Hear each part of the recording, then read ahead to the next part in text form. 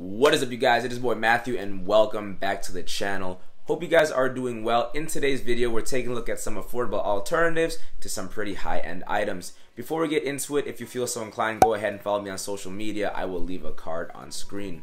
If you guys know me or been on the channel for a while now, you know that I don't buy too much into fast fashion, mostly because I'm the type of person that if I want a specific item, I'd rather save up and get that specific one, because if I keep buying alternatives, I'll eventually still want to buy the actual version, if that makes sense.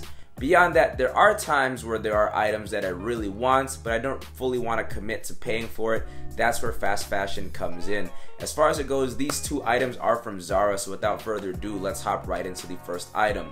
The first item that this is replicating is the Issey Miyake Homme shorts. Now those retail for about three to four hundred dollars, which is a lot, and I didn't know if I was gonna wear them that often. Recently, I watched a Devon on Deck video, which is actually where I found both of these items. This first item is a pair of shorts. Again, this is the jogger short, the oversized pleated jogger short from Zara. Retail on these were $45. I personally picked this up on sale for 25 I, I picked up the light gray color. Um, it's super nice. The fabric is very lightweight, perfect for the summer. As far as it goes, it features two side entry pockets, a zip fly, drawstring waistband, and I do believe there is a single back pocket. I could be wrong on that last detail there. As far as sizing goes, I typically wear a large across the board when it comes to drawstring pants. I wear a size 34 in numbers, but I actually got these in a medium because again, they are a bit oversized, so they fit a bit big.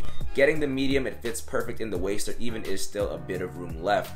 As far as length goes, you know I like my shorts above my knee. These go below my knee. I'll show you guys what they look like right now. Let me know if you guys think I should alter them like by shortening them. I feel like I might, but let me know what you guys think. As far as styling goes, I'm gonna keep these super simple, just a plain summer fit. Probably throw on a plain tee, whether it be a black or white tee, throw on some slip-on Vans and call it a day. You could potentially dress these up, but in my opinion, this is just a little bit of a statement short to kind of break up the outfit as far as texture goes just a little bit. The next item in question is gonna be some footwear. A little bit of backstory, I've been a huge fan of loafers and casual suiting recently. When it comes to loafers, I've been looking at the Loro Piana Summer Walks. I feel like those are very nice. Zegna, I'm a huge fan of their clothing as well as their shoes recently have been very nice. Recently, Zegna did a collaboration with Fear of God where they released more of a bit of luxury athleisure mixed with more tailored um, tailored options.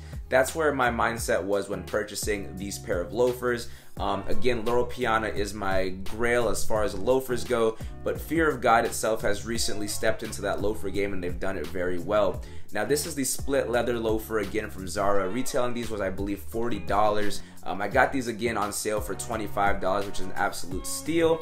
Now the colorway online it looked like an olive green which I wasn't too keen on but when it came in it was actually more of a light brown tobacco suede not tobacco suede but a light gray suede color which I actually liked a lot. As far as sizing goes I typically wear a US 10 to 10 and a half. This is a EU 44 so it equates to about an 11 so I did go that half size up but it still fits perfectly. As far as how I'm gonna style it I'm gonna go the first one a bit sticking to to that Italian luxury house house, like that Zegna, Loro type aesthetic. I'm gonna throw it on with some linen loafers from Onia, and I'm gonna throw it on a vintage brown polo from Versace. Let me know what you guys think about this outfit.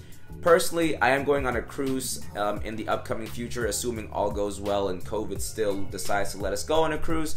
Um, this is a fit I'd probably wear on there, as well as a day on South Beach, something of that nature. That's where I think this outfit would shine. Beyond that, I'm also gonna go with the new Jerry aesthetic, where he does loafers, again, casual loafers with sweatpants, keeping it cozy, um, a bit more luxury athleisure here. I'm gonna throw them on with the Aimé Leon Dore collegiate sweatpants as well as throw it on with the black uniform hoodie.